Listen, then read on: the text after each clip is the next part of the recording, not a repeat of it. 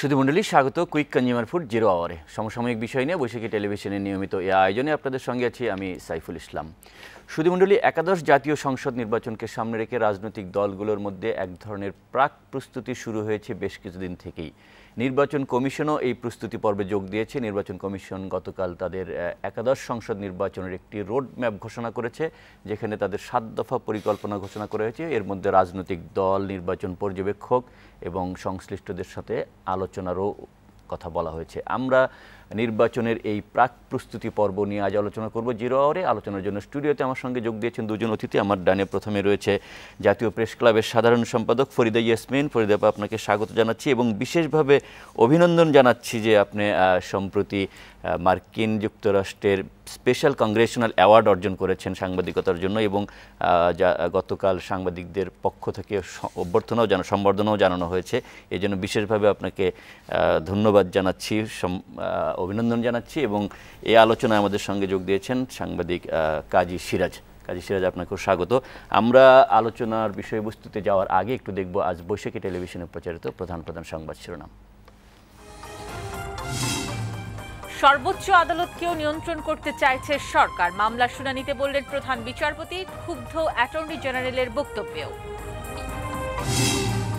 আগামী নির্বাচনে প্রার্থী ও ভোটারদের জন্য সুষ্ঠু পরিবেশ নিশ্চিত করতে নির্বাচন কমিশনের সাত দফা রূপরেখা ঘোষণা। একটি ভাইস চেয়ারম্যান পদ বিলুপ্ত করল ইসলামী ব্যাংক। পরিচালনা পর্ষদে আরেক দফা পরিবর্তন। দেশজুড়ে মাঝারি তাপদাহ, আরও কয়েকদিন থাকার পূর্বাভাস লোডশেডিংয়ে বাড়ছে দুর্ভোগ এবং অস্তিত্ব নেই বিডিডি এর নতুন ধারা আবাসন প্রকল্পের। এগারো বছরেও প্লট পায়নি ক্রেতারা, শত শত কোটি টাকা আত্মসাতের অভিযোগ। শিরোনামগুলো দেখছিলাম, আমাদের শিরোনাম নির্বাচন কমিশনের রোড ম্যাপ ঘোষণার একটি খবর রয়েছে, যদিও এটা বলা হচ্ছে খসড়া রোড ম্যাপ জনাব কাজী সিরাজ আপনাকে থেকে আলোচনাটি শুরু করতে চাই। আমি বলছিলাম যে রাজনৈতিক দলগুলোর এক ধরনের প্রাক প্রস্তুতি কিন্তু চলছে। ক্ষমতাসীন আওয়ামী লীগ তো বেশ আগে থেকেই এই প্রস্তুতিটি শুরু করেছে, তাদের জাতীয় সম্মেলন থেকেই আরও ছয় মাস আগে। এবং এর মধ্যে আওয়ামী লীগ সভানেত্রী, প্রধানমন্ত্রী দেশের বিভিন্ন অঞ্চলে যেসব সমাবেশ করেছেন, সেখানে তো নৌকার পক্ষে ভোট চেয়েছেন। দেরিতে হলেও আরেকটি বড় দল, বিএনপি, কিন্তু তাদের তৃণমূল পর্যায়ে দল গোছানোর কাজ শুরু করেছে এবং বিভিন্ন জায়গায় কর্মী সভা করছে এবং এটিও নির্বাচনের প্রস্তুতি হিসেবেই দেখা হচ্ছে। নির্বাচন কমিশনও এই রেসে যোগ দিয়েছে। সব মিলে আপনার কি মনে হচ্ছে যে একাদশ জাতীয় সংসদ নির্বাচনের আরও এক বছরের কিছু বেশি সময় বাকি রয়েছে?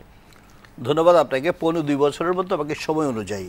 কিন্তু আমার যেটা ধারণা আওয়ামী লীগের জাতীয় সম্মেলনে যখন বিশতম জাতীয় সম্মেলনে প্রধানমন্ত্রী শেখ হাসিনা যখন নির্বাচনের ব্যাপারে স্পষ্ট করে কথা বলে ফেললেন এবং তার নেতা কর্মী থেকে প্রস্তুতি নেওয়ার কথা বললেন, আমার কাছে মনে হয়েছে এবং তখন থেকে আমি টকশোতেও বলে যাচ্ছি এবং আমার লেখালেখিতে আমি আনছি যে নির্বাচনটি নির্দিষ্ট সময়ের আগেও হয়ে যেতে পারে। একেবারে ঠিক ওই সময় মতো নর্মালি হলে তো জানুয়ারির পাঁচ তিন মাস আগে হলে অক্টোবর অক্টোবরের দিকে হতে পারে জানুয়ারি আঠারো সালে। জানুয়ারি উনিশ। মানে এটা নব্বই দিন আগে যদি হয় তো তাহলে আঠারো আঠারো শেষ সেই শেষ দিকে হবে।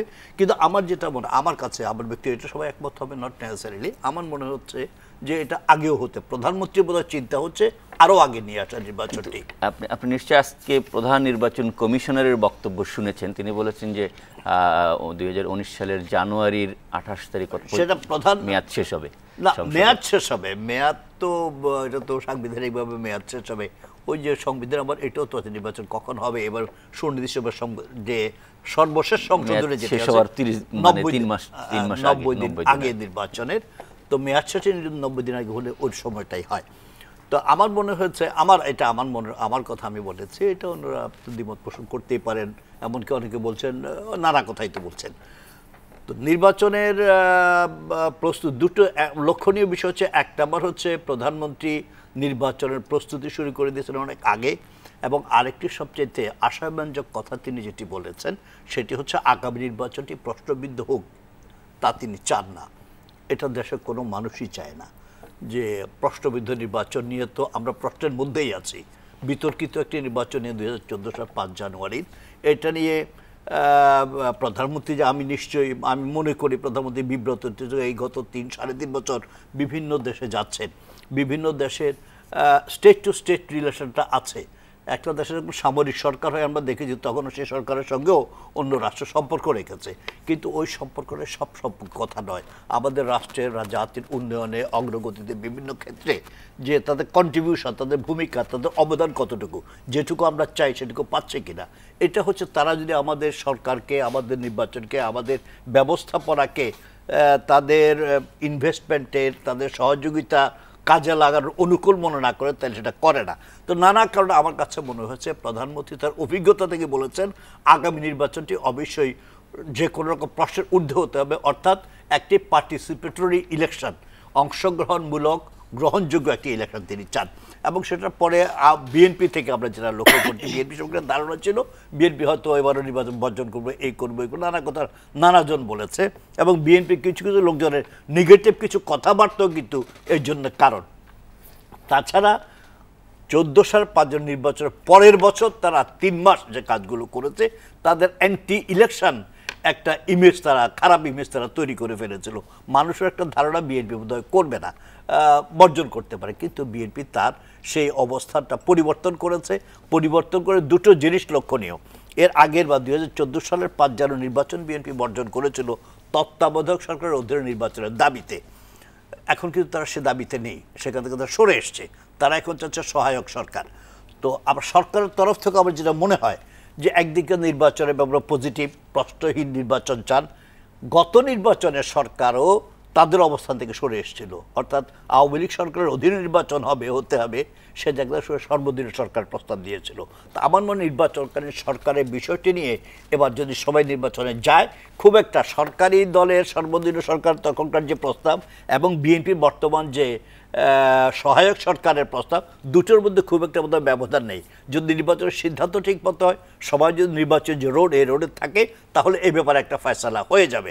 তো বিএনপিও যেটা হচ্ছে, গত উনিশে এপ্রিল উনিশে এপ্রিল তারা প্রধান সাবেক প্রধানমন্ত্রী, বিএনপি চেয়ারপারসন, উনি ওনার ভিশন টোয়েন্টি থার্টি এই টোয়েন্টি থার্টি ভিশন কিন্তু ওনাদের সিক্স ন্যাশনাল কাউন্সিল যেটা হয়েছিল সেখানে কিন্তু দিয়েছিলেন ভিশন একটা- সংক্ষিপ্ত রূপরেখা ছিল। ওইটা সংক্ষিপ্ত রূপরেখা ছিল এটা একটু মানে বিস্তৃতভাবে তারা বলেছেন এবং এখানে আমার যেটা মনে হয় vision twenty thirty but mission twenty ninety অর্থাৎ আগামী নির্বাচনটাই হচ্ছে মিশন এটাকে মিশন নিয়েই কিন্তু তারা ভিশন টোয়েন্টি থার্টি দিয়েছে। তার মানে আমার মনে হয় বিএনপি এখন পর্যন্ত এখন পর্যন্ত আমার বিএনপি পজিটিভ যেমন নির্বাচন কমিশন গঠন উপলক্ষে যে আচ্ছা। সার্চ কমিটি গঠন এখানে আমি এই বক্তব্যটা শেষ করে দিই।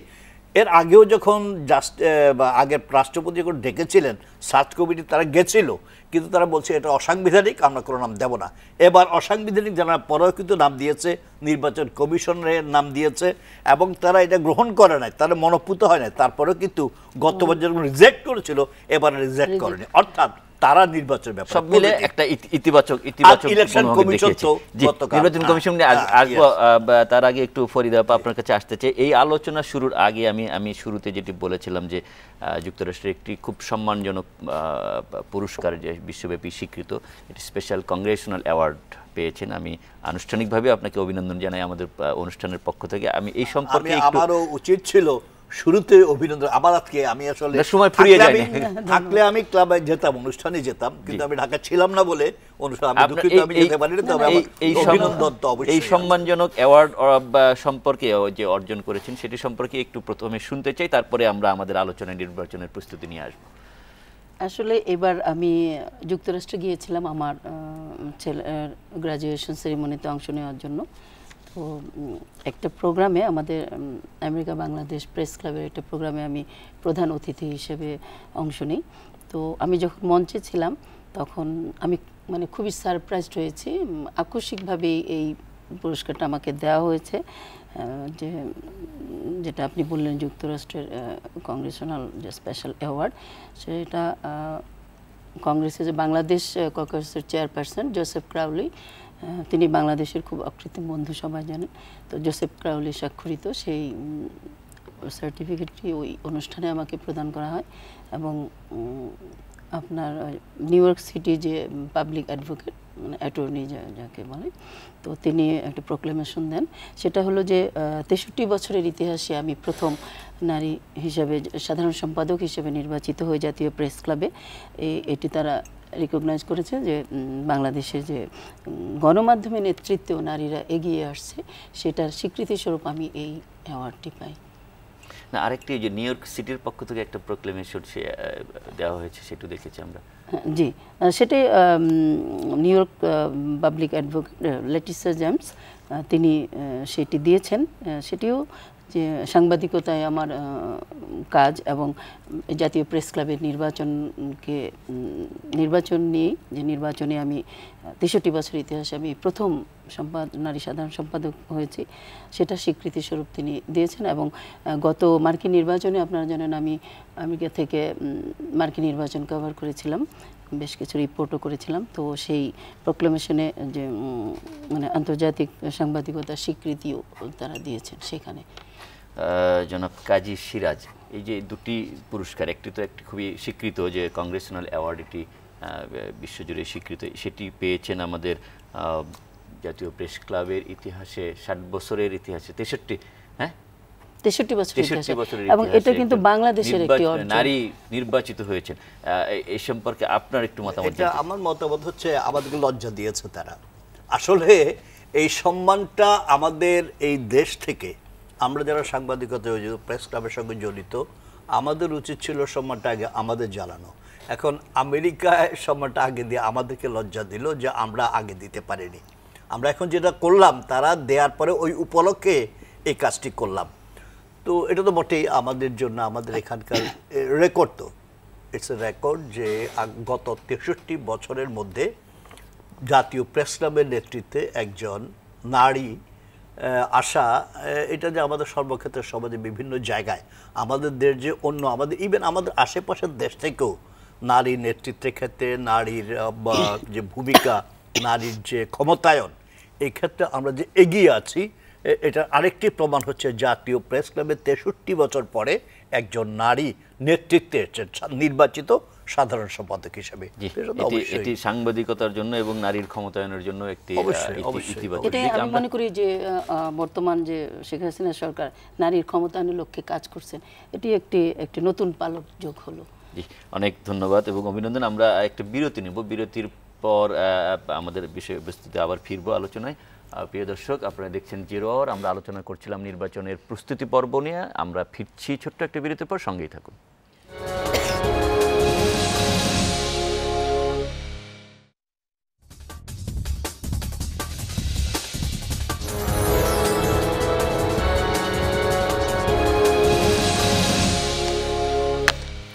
বিরতির সময় আমাদের সঙ্গে থাকার জন্য ধন্যবাদ। আমরা জিরো আওয়ারে আলোচনা করছিলাম নির্বাচনের প্রাক প্রস্তুতি পর্ব নিয়ে। আমাদের সঙ্গে রয়েছেন জাতীয় প্রেস ক্লাবের সাধারণ সম্পাদক ফরিদা ইয়াসমিন এবং সাংবাদিক কলামিস্ট কাজী সিরাজ। ফরিদা ইয়াসমিন আপনার কাছে আসতে চাই যে আমরা নির্বাচনের প্রস্তুতি পর্ব যে আলোচনাটি চলছিল যে বিএনপি দুই হাজার চোদ্দ সালের পাঁচই জানুয়ারির দশম জাতীয় সংসদ নির্বাচন বর্জন এবং নির্বাচন প্রতিহত করার যে একটি ডাক দিয়েছিল। ডাক দিয়ে সেখান থেকে তারা সরে আসছে। এই গত সাড়ে তিন বছরে এবং এখন নির্বাচনের তাদের যে কার্যক্রম সেটি ইতিবাচক বলছেন।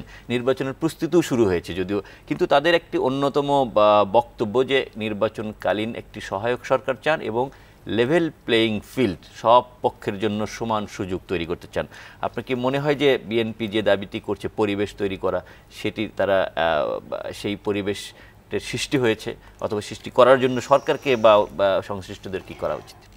সবচেয়ে আসার কথা যেটা যে নির্বাচনের আমি বলব ডামাডোল মানে শুরু হয়েছে নির্বাচন কমিশন তার রোডম্যাপ ঘোষণা করেছে আওয়ামী লীগ অনেক আগেই করেছে এবং বিএনপি তারা নির্বাচনের ভীষণ নির্বাচনকে সামনে রেখে ভীষণ টোয়েন্টি থার্টি ঘোষণা করেছে এবং তারা বিভিন্ন দাবি দাওয়াও করছে যে লেভিং লেভেল. ইয়ে ফিল্ড করার কথা। এবং সে দাবিটা কিন্তু তাদের অবশ্যই এটা যৌক্তিক কারণ দীর্ঘদিন ধরে তারা কিন্তু সভা সমাবেশ করতে পারছে না। তারা মোটামুটি পালিয়েই বেড়াচ্ছিল। কারণ এর আগে যে হরতাল জ্বালাও পোড়াও আন্দোলন এসব কারণে বিএনপি কিন্তু একেবারেই কোণঠাসা হয়ে পড়েছিল। আর তারপরে দীর্ঘ সময়ে দুই হাজার চোদ্দ নির্বাচনের পরে তারা যেভাবে এই আন্দোলন শুরু করেছিল রাস্তায়, তখন সেগুলো ব্যর্থ হয়। ব্যর্থ হওয়ার পরে তারা যে, সেখান থেকে সরে এসেছে, সরে আসার পরে যে তাদের নিজেদের দল গোছানোর বিষয়টা, তারা কিন্তু সেটা করতে পারেনি। তারা সাংগঠনিকভাবে কোনো, সেভাবে কোনো কার্যক্রম করেনি বা তৎপরতাও চালায়নি। এখন, এর আগে তো তারা বলছে, এমন একটা আশঙ্কার মধ্যে ছিল যে বিএনপি কি নির্বাচনে যাবে, কি যাবে না। তারপরেও কিন্তু তারা একটা আশঙ্কার মধ্য থেকেও তারা যে, এর আগে নির্বাচনের যে প্রক্রিয়া শুরু হয়েছিল, সেখানে কিন্তু তারা যে সার্চ কমিটিতে তারা নাম দিয়েছিল কিন্তু, এবং সেভাবে যে সার্চ কমিটি গঠন করার পরে তারা একটু মৃদু আপ- আপত্তিও করেছে, কিন্তু একেবারেই প্রত্যাখ্যান করেনি। তার মানে তারা তাদের মনোভাব ইতিবাচক, এবং সেই তারপর থেকে কিন্তু তারা বিভিন্নভাবে নির্বাচনী মুখী কার্যক্রম চালাচ্ছে বা চালানোর চেষ্টা এখন তো মাঠ পর্যায়ে বিভিন্ন মাঠ পর্যায়ে যাচ্ছে। জেলা পর্যায়ে সম্মেলন খুবই সব মিলে ইতিবাচক এবং তারা যে দাবিটা করছে এটা অবশ্যই আমি মনে করি যে যেহেতু সামনে নির্বাচন এবং তারা নির্বাচনে অংশ নিতে চায় তারা অবশ্যই যে লেভেল প্লেইং ইয়ে যে মাঠ তারা চাচ্ছে সেটা অযৌক্তিক কিছু না।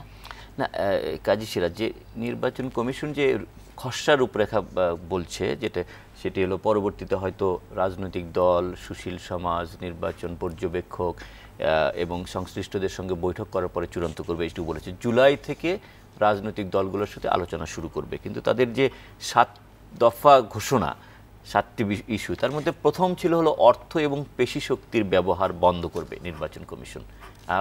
আমাদের নির্বাচনে নির্বাচনী ব্যবস্থায় এটি সবচেয়ে বেশি আলোচিত বিষয়। আপনার কাছে কি মনে হয় যে এই এই রূপরেখার প্রথম রূপরেখা যেটি ঘোষণা করা হচ্ছে? আমার মনে হয় যে প্রথম দফাটাই খুব কষ্টকর হবে নির্বাচন কমিশনের পক্ষে নিয়ন্ত্রণ করা। কারণ আমাদের নির্বাচনে পেশির প্রথম নমিনেশন দুই দল প্রধান দুই দলের কথা যদি ধরি আওয়ামী লীগ এবং বিএনপি। সেখান থেকে নমিনেশন আমরা জানি এটা প্রচুর লেখালেখি হচ্ছে হ্যাঁ। কেনা বেচা হয়? নমিনেশন কেনা বেচা হয়? প্রচুর আসনে। তো সেটা সেখানে যে- সেখানে যে টাকার যোগান আসবে দেবে যারা প্রার্থী কিনবে যারা সেগুলো উনি ঠেকাবেন কী করে? এটা তো প্রমাণও থাকবে না যে টাকা দিয়ে নমিনেশনটা নিয়েছে।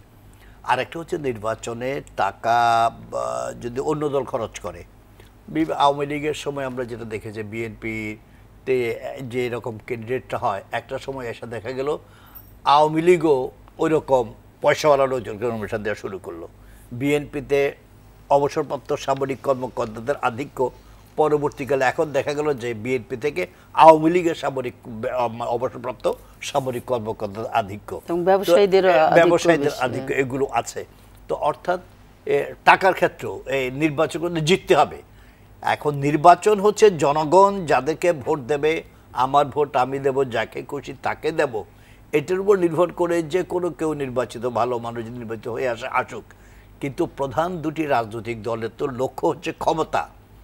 এখন এটার দুর্ভাগ্যজনক বিষয় হচ্ছে, রাজনীতি যখন আদর্শ ভিত্তিক হয়, রাজনীতি যখন নীতিভিত্তিক হয়, তখনই এই কালো টাকা, পেশি শক্তি, এগুলোর আধিক্য কমে যায়। এগুলোর উপর প্রাধান্য দেওয়া হয় না। কিন্তু রাজনীতি যখন শুধু ক্ষমতার জন্য হয় আমি ক্ষমতায় আছি আমাকে ক্ষমতায় থাকতেই হবে। আবার আমি ক্ষমতার বাইরে আছি আমাকে ক্ষমতা যেতেই হবে। এবং সেই জন্যই দরকার হয় পেশি শক্তি কালো টাকা ইত্যাদি ইত্যাদি।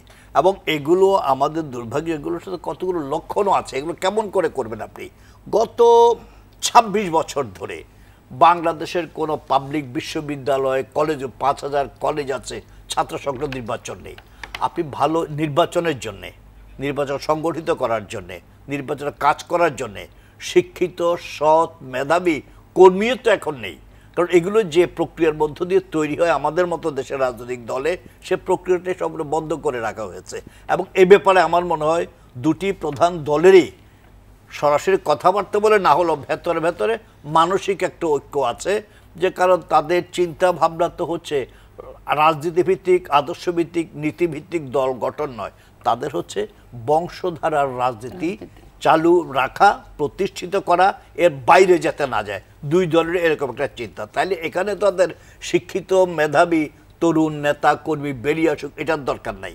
এটা বেরিয়ে এদের একটা চাপ থাকতো যে খারাপ লোক এই ঢাকা থেকে উড়ে গিয়ে জুড়ে বসে একজন এলাকায় যে লোক এলাকা কাজ করছে দলের জন্য মাঠে লড়াই করছে সংগ্রাম করছে জেল খাটছে নানা রকম অত্যাচার অনাচার সহ্য করছে। ওদেরকে দিতে হবে মাঠ থেকে। তখন একটা প্রেশার থাকতো এই সমস্ত এটা এটার একটা নজির কিন্তু আমরা দেখতে পাই যে বেশ কিছুদিন আগে নারায়ণগঞ্জ সিটি কর্পোরেশন নির্বাচনে সেখানে দেখুন এবং কুমিল্লা সিটি কর্পোরেশন নির্বাচন যেটি হয়েছে তো দুই দলে কিন্তু প্রার্থী মনোনয়ন নিয়ে তাদের নিজেদের পর- মূল্যায়ন পর্যালোচনা পরবর্তীতে আমরা দেখেছি। আহ, নারায়ণগঞ্জ সিটি কর্পোরেশন নির্বাচনে তৃণমূল থেকে কিন্তু যার নাম এসেছিল এটা কেন্দ্রে এসে একক দলের সভাপতি একক সিদ্ধান্তে।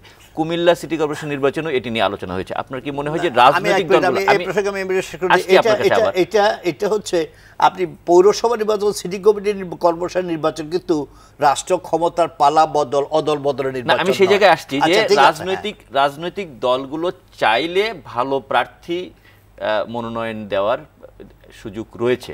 সেই জায়গাটি থেকে আপনি কীভাবে দেখেন যে যেটি বলছে যে কালো টাকা পেশি শক্তি এর চেয়ে একজন সৎ রাজনীতিবিদ যিনি এলাকার রাজনৈতিক দলগুলো কিন্তু যখন যাকে নমিনেশন দেয় তারা কিন্তু আগে চিন্তা করে যে সে জিততে পারবে কিনা। এটা হলো ফার্স্ট প্রায়োরিটি যে সে পেশি শক্তি হোক তার কালো টাকা ব্যবহার করুক এটা কিন্তু ভাবে না যে সে কীভাবে জিতবে। তখন তারা চিন্তা করে যে নানান হিসাব নিকাশ করে যে এই প্রার্থী আমি যে প্রার্থীকে দিচ্ছি সে ওখান থেকে বেরিয়ে আসতে পারবে কিনা। তখন দেখ যে তৃণমূল চাইলো কি কেন্দ্র থেকে কাউকে চাপিয়ে দেওয়া হলো সেটা কিন্তু বড় বিষয় নয়। তারা তখন ওই হিসাব করেই সে মানে আমার মনে হয় জয়টাকে লক্ষ্য রেখেই প্রার্থী হ্যাঁ অবশ্যই। মানে যে কোনো ভাবেই হোক আমাকে মানে ওই ওই আসনটা আমার চাই। আমাকে কীভাবে আনতে হবে সেই চিন্তা মাথায় না তাতে কি তাতে কি সংসদে পেশাজীবী রাজনীতিবিদ রাজনীতিবিদের জায়গাটি কমে যাচ্ছে হ্যাঁ, বলছিলেন যে যে- যে ব্যবসায়ী, ব্যবসায়ীরা এখন রাজনীতিতে এখন রাজনীতি পুরা মানে ব্যবসায় নির্ভর হয়ে গেছে দেখা যায় যে যারা আগে পলিটিক্স করতো তারা কিন্তু পলিটিক্সই করতো মানে তারা রাজনীতিবিদ। কিন্তু এখন দেখা গেল যে যাদের টাকা আছে তারা এই নমিনেশন কিনছে এবং তারা এমপি হয়ে যাচ্ছে। এখানে কিন্তু সে এর আগে কি আদর্শগত রাজনীতি করেছেন কিনা, জনগণের সাথে কীরকম সম্পৃক্ততা বা জনগণের কাছে যায় কিনা, জনগণ তার কাছে আসতে পারে কিনা, সেই বিষয়গুলো কিন্তু মানে প্রাধান্য পাচ্ছে না। একটাই যে এই লক্ষ্যে যখন আমি নমিনেশন দিলে সে আমাকে এই সিটটা দিতে পারবে। এটাই মূল টার্গেট এবং আমি মনে করি সব দলের কিন্তু ওই টার্গেট নিয়ে তারা নমিনেশন দেয়। এবং সেটা যখন দেখে যে যে যে কথাটা প্রথমে নির্বাচন কমিশন বলল যে পেশি শক্তি এবং যে অর্থ হ্যাঁ, কালো টাকার এটা বন্ধ করা এটা আমার মনে হয় না আমাদের বাস্তবতা প্রেক্ষাপটে এ দেশে এটা সম্ভব। এটি- খুবই কঠিন বাস্তবায়ন করা। খুবই খুবই কঠিন। কারণ দল কালো টাকা ব্যবহার কি পেশি শক্তি সেটা কিন্তু দেখছেন না। যে ওই যে ক্ষমতার রাজনীতি যেটা আহ, সিরাজ ভাই যেটা বললেন যে যে কোনো ভাবে হোক আমাকে ওই ক্ষমতায় যেতে হবে আমাকে আসনটা পেতে হবে। রাজনৈতিক দলগুলোর সহযোগিতা ছাড়া কমিশনের পক্ষে এই না এটা তো লক্ষ্য না সম্ভব করা খুবই কঠিন। না যদি স্বাধীন একটা নির্বাচন কমিশন যে স্বাধীনভাবে কাজ করতে পারে যদি সেরকম তারপরেও নমিনেশনের ব্যাপারে তো নির্বাচন কমিশন কিছু করার কিছু নেই। আরেকটি বিষয় হলো যে সব প্রার্থী এবং ভোটারের জন্য একটি আহ, নিরাপদ এবং সুষ্ঠু পরিবেশ তৈরি করা নির্বাচন কমিশনের লক্ষ্য ঘোষিত লক্ষ্যের মধ্যে একটি। কি করে করবে? নির্বাচনটি হবে পৃথিবীর কোথাও সংসদ বহাল রেখে। একজন ধরেন শেখ, প্রধানমন্ত্রী শেখ হাসিনা, তিনি নির্বাচন করবেন সিটিং এমপি হিসেবে। তার বিরুদ্ধে যিনি নির্বাচন করবেন, তিনি কিছু না।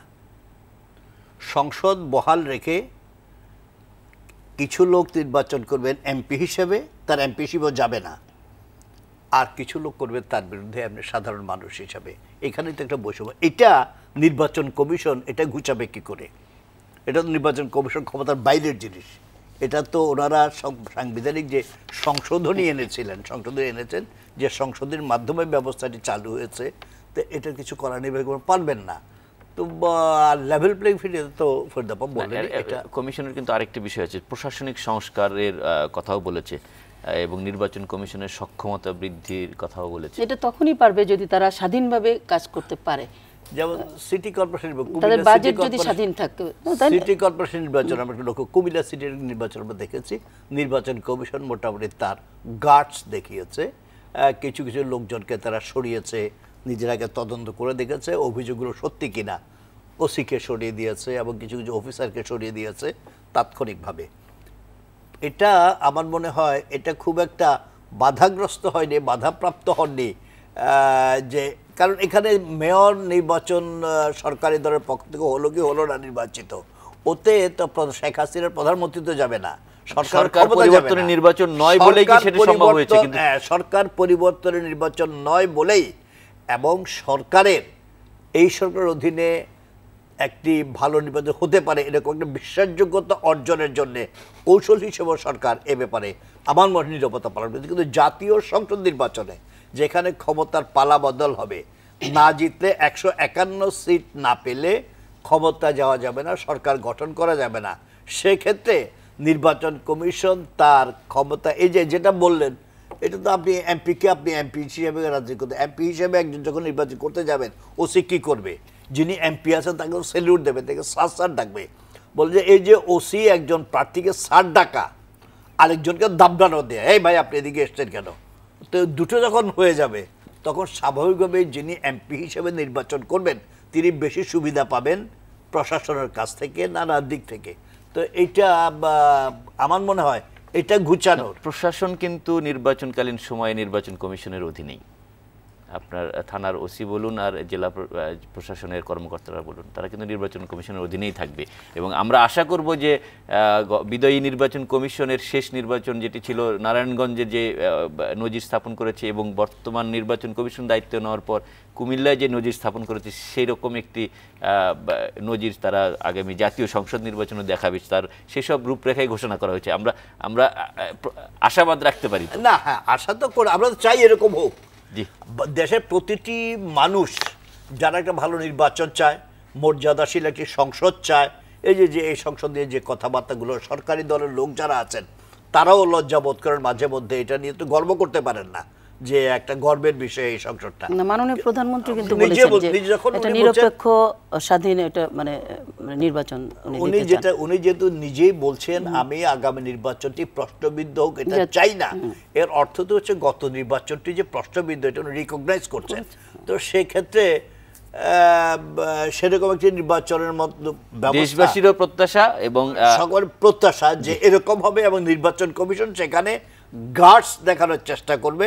তার রাজনৈতিক দলগুলো সরকারি দল যদি এর ব্যত্যয় ঘটায় যদি কোনো সমস্যা সৃষ্টি করে তখন তো অনেক দেখবে। অনেক অনেক অনেক ধন্যবাদ জনাব কাজী সিরাজ এবং ফরিদা ইসমিন আপনাদের দুজনকেই আমাদের আলোচনার অংশগ্রহণের জন্য। আমরা সেই আস্থাটি রাখতে চাই নির্বাচন কমিশন যে রূপরেখা ঘোষণা করেছে আর আমরা আমি শেষ করার আগে নির্বাচন কমিশনের উপর আমরা আস্থা রাখতে চাই। কিন্তু সঙ্গে সঙ্গে প্রধান রাজনৈতিক দল তারা কিন্তু মেইন স্টেক হোল্ডার কিন্তু ওরা তো। ওরা যদি ওদের ভূমিকা যথাযথভাবে পালন না করে তাহলে শুধু নির্বাচন কমিশন, সুফি দরবেশ কাউকে বানিয়ে দিলেও কিছু করতে পারবে না। জি, ধন্যবাদ জনাব কাজী সিরাজ এবং ফরিদা ইয়াসমিন আপনাদের দুজনকে আমাদের সঙ্গে এই আলোচনায় অংশ নেওয়ার জন্য। প্রিয় দর্শক, আমরাও নির্বাচন কমিশনের উপর আস্থা রাখতে চাই। নির্বাচন কমিশন যে সাত দফা রূপরেখা ঘোষণা করেছে, সেই সাত দফা রূপরেখা বাস্তবায়ন করবে এবং রাজনৈতিক দলগুলো নির্বাচন কমিশনের সঙ্গে এই রূপরেখায় সহযোগিতা করবে। সেই প্রত্যাশায় রাখছি যে যাতে একটি সুষ্ঠু, গ্রহণযোগ্য নির্বাচন হতে পারে আগামী একাদশ জাতীয় সংসদ নির্বাচনে। আপনারা যারা আমাদের সঙ্গে এতক্ষণ ছিলেন, আপনাদেরকে অনেক ধন্যবাদ। ভালো থাকবেন। শুভরাত্রি।